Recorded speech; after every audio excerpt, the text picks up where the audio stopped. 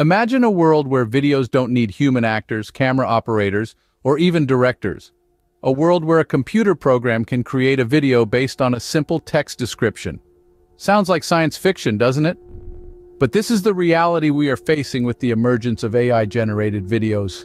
Take the case of Synthesia, a London-based company. They've created a platform that uses artificial intelligence to generate videos from text. Simply type in what you want the video to say, choose a digital avatar, and the AI does the rest. It's as easy as that.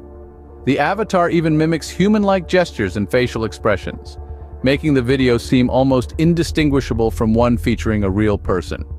Think of the possibilities. A company could create an entire advertising campaign without needing to hire actors, film crews, or even a production company. A teacher could create educational videos tailored to each student's learning style. The possibilities are as vast as our imaginations. But it's not all sunshine and roses. With this new technology comes new challenges. How do we ensure the authenticity of videos? How do we prevent deepfakes that could spread misinformation or cause harm?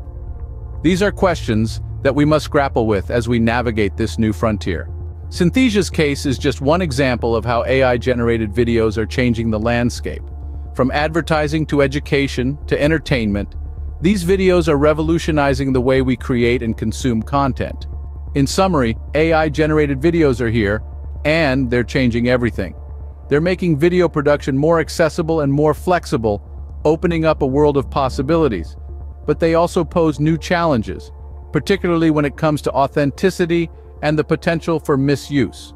The future of AI-generated videos is both exciting and daunting. As we move forward, we must navigate the potential pitfalls while embracing the possibilities, because one thing is certain. AI-generated videos are not just a passing trend, they're here to stay, and they're changing everything forever.